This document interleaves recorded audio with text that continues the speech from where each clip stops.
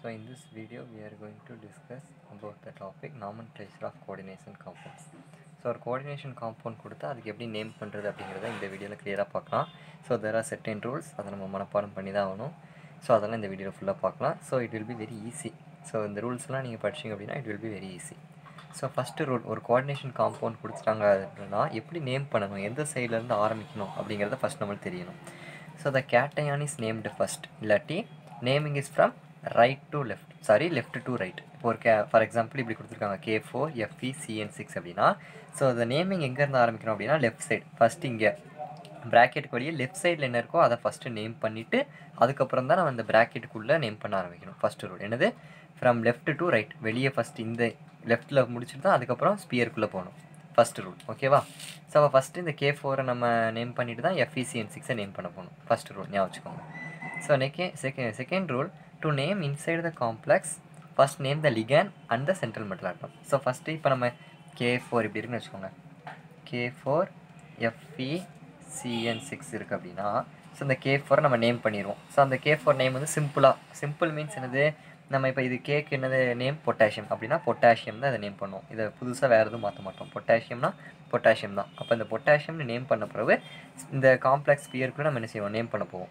So அப்படி name பண்ணும்போது இதை நேம் பண்ணிட்டு இதை நேம் பண்ணக்கூடாது. ஃபஸ்ட்டு எதை நேம் பண்ண சொல்லியிருக்காங்க? First name the ligand so அப்போ ஃபஸ்ட்டு லிகேண்டை தான் நேம் பண்ணுவோம். What is ligand so central metal first இருக்க சென்ட்ரல் மெட்டல் ஆட்டம் அது பக்கத்தில் இருக்க லிகேண்ட் ஸோ அப்படிப்பட்ட லிகேண்டை தான் ஃபஸ்ட் நேம் பண்ணணும் ஸோ அப்போ இந்த சைனைடா அப்போ சைனிடோன்னு வரும். ஸோ அதெல்லாம் பின்னாடி ரூல்ஸ் பார்க்கலாம். ஸோ அப்போ ஃபஸ்ட்டு என்ன சொல்லியிருக்காங்க? வெளியே நேம் பண்ண போகிறோம் ஸ்பியர்க்குள்ளே நேம் பண்ணணும். ஸோ இந்த ப்ராக்கெட்குள்ளே நேம் பண்ணும்போது ஃபஸ்ட்டு லிகாண்டை நேம் பண்ணிட்டு தான் இந்த நம்ம சென்ட்ரல் மெட்டல் ஆட்டம் நேம் பண்ணணும். ஸோ செகண்ட் ரூல் ஸோ அதுக்கப்புறம் பாருங்கள் if more then one ligand is the then name according to the alphabetical order இப்போ ஃபார் எக்ஸாம்பிள் இப்போ சிஓ இப்படிங்கிறது என்னது? Central metal atom this is a central metal ion or atom அப்படின்னு சொல்லலாம்.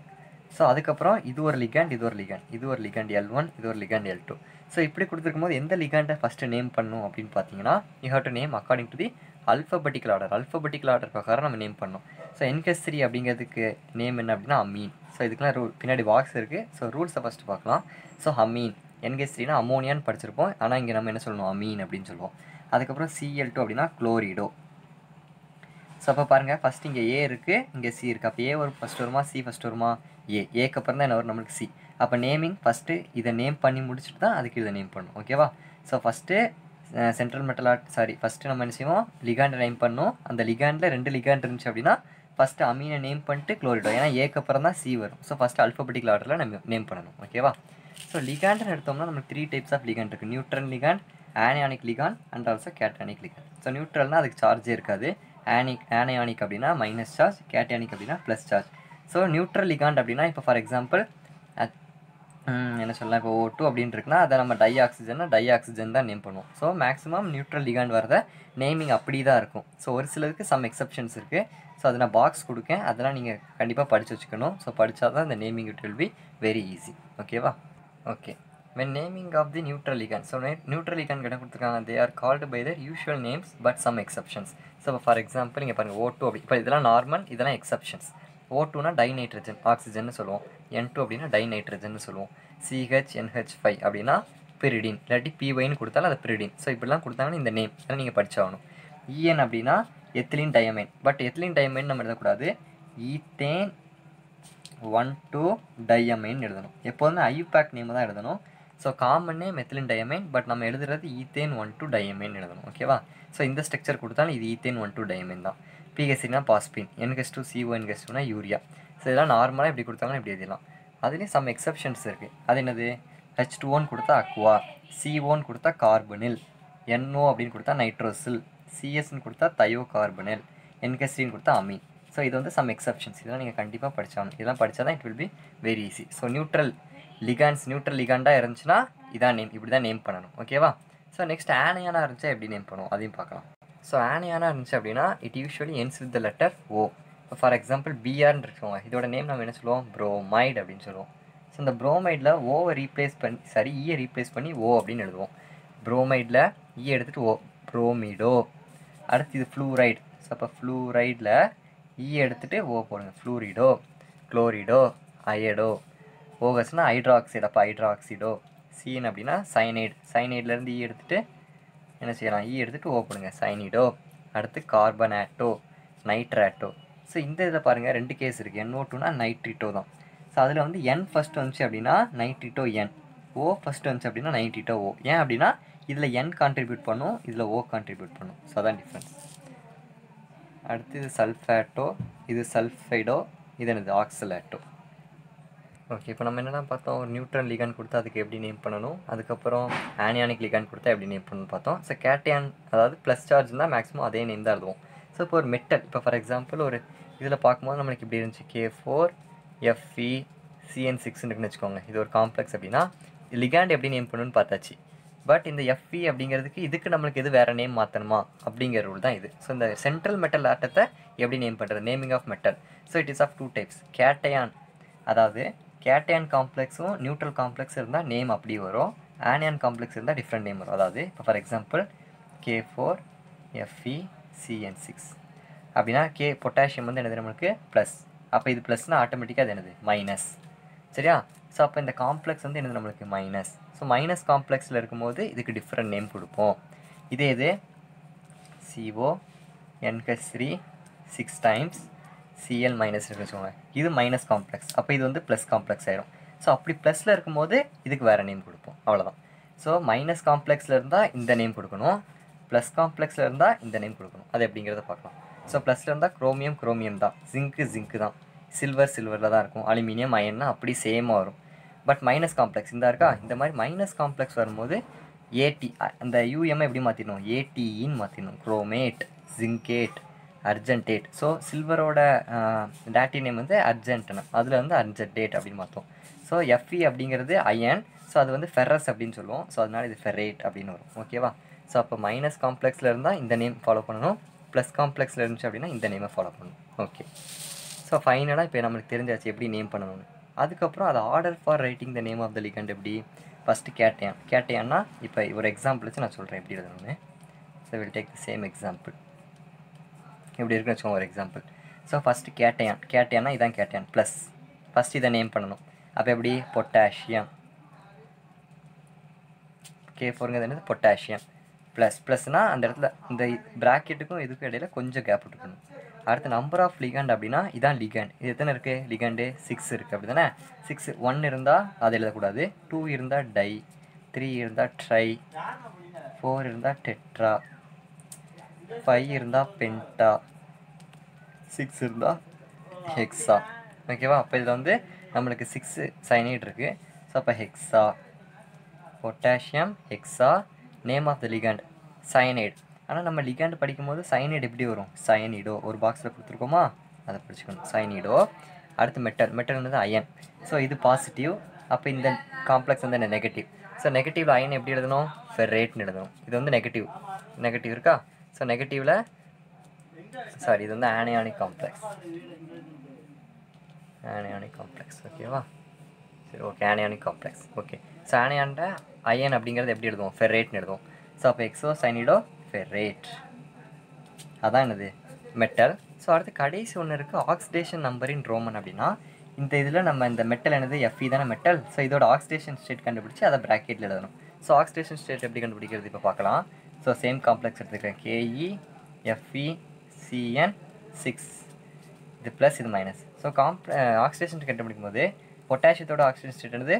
Plus one so நாலு potassium இருக்குது four into plus one plus one வந்து பொட்டாசியத்தோட ஆக்சிடேஷன் ஸ்டேட் நாலு இருக்கனால ஃபோர் இன்ட்டு ப்ளஸ் ஒன் அதுக்கப்புறம் அயன் தான் கண்டுபிடிக்க போகிறோம் அது எக்ஸ்னு வச்சுக்கோங்க. ப்ளஸ் சைனைடு வந்து சிக்ஸ் இன்ட்டு எத்தனை சைனைட் இருக்குது ஆறு சைனைட் இருக்குது six into minus one equal to zero அப்போ four plus X minus six equal to zero so அப்போ X equal to minus six plus four என்னது? மைனஸ் டூ ஒன் சீர் போச்சுன்னா ப்ளஸ் டூன்னு வந்துடும் ஸோ அப்போ ஐஎன் டூ ரோம் லெட்டர் எழுதணும். IN two அப்படிங்கிறத ரோம் லெட்டர் எழுதணும். ஸோ கேட்டையான் பொட்டாசியம் எழுதியாச்சு. நம்பர் ஆஃப் லிகாண்ட் ஆர் இருக்கனால hexa name of the ligand cyanido அடுத்து இது ஆனியானிக் காம்ப்ளெக்ஸில் இருந்தால் அயன் எப்படி எழுதணும்? ஃபெரேட் இந்த பாக்ஸ் படி ஃபெரேட் அடுத்து ஆக்சிடேஷன் ஸ்டேட் கண்டுபிடிச்சா plus two so second Roman letter so இதை பேஸ் பண்ணி சம் எக்ஸாம்பிள்ஸ் பார்க்கலாம் இதில். ஓகே நம்ம ஆர்டர் எழுதியிருக்கோம். Cation ligand number of ligand அடுத்து நேமு அடுத்து central metal atom oxygen number one so இதை தான் நம்ம போன எக்ஸாம்பிளாக பார்த்தோம். ஃபஸ்ட்டு என்னது நம்மளுக்கு? பொட்டாசியம்னு வரும். பொட்டாசியம் ஏன்னா ஃபஸ்ட்டு கேட்டையான் எழுதியாச்சு. இது போன எக்ஸாம்பிளில் பார்த்தோம். இருந்தாலும் இன்னொரு வாட்டி எழுதலாம். So number of ligand six so hexa cyanido cyanido ஏன் சைனிடோன்னு போடுறோம்? நம்மளுக்கு ம மைனஸ் லிகாண்ட் இருந்துச்சுன்னா சைனிடோன்னு மாறிடும். ஓகே சைனிடோ ஃபெர்ரேட் ஏன்னா இது ப்ளஸ் இது மைனஸ் ஸோ அது காம்ப்ளெக்ஸ்க்குள்ள நேம் கொடுத்துருக்கேன். ஸோ அதை கோ த்ரூ பண்ணி இதை பிடிச்சிக்கலாம் ஸோ ஆக்சிஜன் ஸ்ட்ரீட் கண்டுபிடிக்கும்போது என்ன வந்துச்சு? டூ அப்படின்னு வந்துச்சு. So potassium hexa cyanido ferrate two so இதான் ஆன்சர் இது போனட்டும் போட்டனால டேரெக்டாக எழுதிட்டேன். Okay next coming to second example C O N H three four time C L two C L minus so இதில் முன்னாடி ஒன்றுமே இல்லை. ஸோ அப்போ இது ப்ளஸ்னு எடுத்துக்கலாம். சிஎல் மைனஸ்னு வச்சுக்கலாம். ஓகேவா சிஎல் மைனஸ் இது ப்ளஸ் ஸோ அப்போ இந்த காம்ப்ளெக்ஸ் வந்து என்ன காம்ப்ளெக்ஸ் பாசிட்டிவ் காம்ப்ளெக்ஸ் ஸோ அந்த ரூல்ஸ் படி எழுத போகிறோம் ஓகே ஸோ நம்ம எப்போவுமே லெஃப்ட் டு ரைட்டு தான் நேம் பண்ணணும். ஸோ லெஃப்ட்டில் வெளியே இல்லை. ஸோ இப்போ டேரெக்டாக இதை நம்ம வெளியே இருந்தால் தான் வெளியே பண்ணணும். ஸோ வெளியே இல்லை இங்கே வெளியே இருக்குது அப்படின்ட்டு இதை ஃபஸ்ட்டு பண்ணோம் அப்படின்னா தப்பு. இந்த சைடில் லெஃப்ட்டில் இருந்து தான் ரைட்டுக்கு வரணும். சரியா? அப்போ ஃபஸ்ட்டு இங்கே பண்ணணும். இங்கே ஒன்றுமே இல்லை. ஸோ அதனால் இதை பண்ண போகிறோம் ஓகேவா சரி இப்போ லிகாண்டை தான் நம்ம ஃபஸ்ட்டு எழுதணும். ஸோ இப்போ ரெண்டு லிகாண்ட் இருக்குது அமீன் இருக்குது குளோரிடோ இருக்குது ஸோ ரெண்டு கம்பேர் பண்ணும்போது அல்ஃபபெட்டிக்கல் ஆர்டரில் அமீன் தான் ஃபஸ்ட் வரும். இது அமீன் ஏஎம்எம் ஐஎன்இ அமீன் அடுத்து இது வந்து குளோரிடோ சரியா? அப்போ ஏ ஃபஸ்ட் வருமா சி ஃபஸ்ட் வருமா? ஏ தான் ஃபஸ்ட் வரும். அதனால அமீனை ஃபஸ்ட் எழுதணும். ஓகேவா நாலு அமீன் இருக்குது அப்போ tetra tetra amine. Tetra amine. A M M I N E tetra amine. அடுத்து குளோரிடோ எழுதுங்க. ரெண்டு குளோரின் இருக்கா? Di chlorido tetra amine di chlorido இப்போ இந்த ஆட்டம் எழுதுங்க. இது ப்ளஸ் காம்ப்ளெக்ஸில் இருந்துச்சுன்னா கோபால்ட் கோபால்ட்டுன்னு தான் வரும். கோபால்ட் ஓகேவா வச்சு அடுத்து ஆக்சிஜன் ஸ்டேட் கண்டுபிடிங்க. ஸோ ஆக்சிஜன் ஸ்டேட்டுக்கு இந்த இடத்து விட்டுலாம் ஓகேவா இப்போ எப்படி ஆக்சிஜன் கண்டுபிடிக்க போகிறோம் ஸோ எல்லாத்தையும் பாருங்கள் இதை தான் கோபால்ட் தான் கண்டுபிடிக்கணும். So let we take cobalt as X plus இது வந்து நியூட்ரல் லிகான் நியூட்ரல் லிகாண்டோட சார்ஜ் எப்போவுமே ஜீரோ ஸோ அப்போ அதை கன்சிடர் பண்ண வேண்டாம். இங்கே குளோரின் ரெண்டு chlorine குளோரினோட charge two into minus one அடுத்து இங்கே ஒரு குளோரின் இருக்குது அப்போ ஒன் இன்ட்டு மைனஸ் ஒன் ரெண்டு குளோரினுக்கு டூ இன்ட்டு மைனஸ் ஒன் ஒரு குளோரினுக்கு one into minus one is equal to zero அப்போ X minus two minus one equal to zero இப்போ X minus three is equal to zero X equal to plus three அப்படின்னு charge ஓகேவா so அப்போ cobalt three cobalt three plus த்ரீனால Roman letter three எழுதியாச்சு. வெளியே chlorine இருக்கோ? அதை கடைசி எழுதுங்க. குளோரைடு வெளியே முடிகிறது எப்போவுமே குளோரைடு புரோமைடு அப்படி தான் முடியும். உள்ளே வரும்போது தான் குளோரிடோ புரோமிடோன்னு எழுதணும். வெளியே வரும்போது குளோரைடு ஸோ அந்த ரூல்ஸ்லாம் நீங்கள் மனப்பாண்டி பண்ணி தான் ஆகணும். ஓகே இப்போ வந்து என்ன செய்ய போகிறோம் அப்படின்னா இப்போ ரெண்டு ஸ்பியராக இருக்குது ஸோ இதுக்கு எப்படி நேம் பண்ணுறது அப்படின்னா இதுவும் ரொம்ப ஒன்றும் பெருசாக கிடையாது. இதோட நேம் என்னது? எத்திலின் டையமைன் அப்படி தானே எத்திலீன் டையமைன் ஸோ இதிலே டை அப்படின்னு வரனால நம்ம இதுக்கு போய் ட்ரை எத்திலின் டையமைன் எழுதுனா அது தப்பு. ஸோ ஒரு நேம்லே டை ட்ரை டெட்ரான்னு வந்துச்சு அப்படின்னா அதுக்கு வேறு காம்பவுண்ட் இருக்குது யூஸ் பண்ணுறது சாரி வேறு ப்ரிஃபிக்ஸ் இருக்குது பிஸ் ட்ரெஸ் டெட்ராகிஸ் அப்படின்லாம் இருக்குது ஸோ அதை ஃபாலோ பண்ணும். நம்ம ஆக்சுவலாக இங்கே பாருங்கள் இப்போ வந்து இதில் ரெண்டு இருந்துச்சு டை குளோரிடோன்னு எழுதணும். நாலு இருந்துச்சு டெட்ரான்னு எழுதணும். அப்போ இங்கே மூணு இருக்குல்ல ட்ரை தானே எழுதணும். அப்படி எழுதக்கூடாது. இதில் ஆல்ரெடி நேம்லேயே டைன்னு வந்துருச்சு. ஸோ அதனால் இதுக்கு எப்படி எழுதணும் அப்படின்னா ஃபஸ்ட்டு இதை நேம் பண்ணுங்கள் மூணு இருந்துச்சு அப்படின்னா அதாவது நேம்லே டை ட்ரைன்னு இருந்துச்சுன்னா இந்த ப்ரிஃபிக்ஸ் யூஸ் பண்ணணும். ஓகேவா அப்போ மூணு இருந்தால் ட்ரிஸ் ட்ரெஸ் ட்ரெஸ் அதுக்கப்புறம் இது என்னது? Ethane one comma two diamine ethane one comma two diamine so இன்னொரு வாட்டி சொல்கிறேன் நம்மளுக்கு இங்கே வந்து இதோட நேம் என்னது? அமீன் அப்படிங்கும்போது அமீன்கும் போது நம்ம டெட்ரா அமீன் எழுதிடலாம். இதில் வந்து அமீனில் டையோ ட்ரையோ எதுவுமே வரல அந்த நேமில் ஸோ அதனால் டெட்ரா அமீன் எழுதிடலாம். பட் இங்கே வரும்போது எத்திலின் டையமின் இதோட நேமே என்னது? எத்திலின் டையமின் அப்போ அந்த நேம்லேயே டைன்னு ஒரு வார்த்தை வந்துருச்சு. அப்படிங்கிறனால இந்த டெட்ரா டை அப்படிங்கிறத யூஸ் பண்ணக்கூடாது. இந்த நேம்லேயே டை ட்ரைன் வந்துருச்சு அப்படின்னா இந்த ப்ரிஃபிக்ஸ் யூஸ் பண்ணணும். சிம்பிளாக சொல்லணும் ஓகேவா அதுக்கப்புறம் தெளியாச்சு ஃபஸ்ட்டு இருக்குது ப்ளஸ் காம்ப்ளெக்ஸ் அடுத்து இருக்குது மைனஸ் காம்ப்ளெக்ஸ் எப்போதுமே அதான் கான்செப்ட் அப்போ குரோமியம் சரியா? குரோமியம் ப்ளஸ் காம்ப்ளெக்ஸ் இருந்தால் குரோமியம் அப்படியே எழுதிடலாம் ஸோ இதோட ஆக்சிடேஷன் ஸ்டேட்டுக்கு நம்ம கேப் விட்டு வச்சுருக்கோம். அடுத்து இந்த காம்ப்ளெக்ஸை நேம் பண்ணுங்கள் ஸோ இப்போ இதில் வந்து எஃப் அப்படிங்கிறது ஃப்ளூரின் ஸோ ஃப்ளூரின் சிக்ஸ் இருக்குது ஸோ ஃப்ளூரினில் டை ட்ரெயின் வந்திருக்கா? வரல. ஸோ அப்படி இருந்தால் நம்ம என்ன செஞ்சிடலாம்? சிக்ஸ் இருந்தால் எக்ஸா ஃப்ளூரிடோ எக்ஸா ஃப்ளூரிடோ இது வந்து மைனஸ் மைனஸில் குரோமியம் இருந்தால் குரோமேட் ஸோ இதோட ஆக்சிடேஷன் ஸ்டேட் எப்படி கண்டுபிடிக்கணும் அப்படின்னா கண்டுபிடிச்சா என்ன வரும் அப்படின்னா so oxidation state for this will be plus three சரியா? It will be plus three